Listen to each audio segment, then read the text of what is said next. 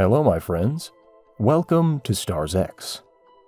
Jeepers Creepers is a 2001 horror film written and directed by Victor Salva.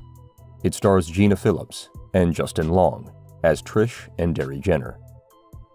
The movie tells the story of a brother and sister driving home through isolated countryside for spring break, encounter a flesh eating creature which is in the midst of its ritualistic eating spree. In this video, we will show you how the film actors changed between 2001 and 2022.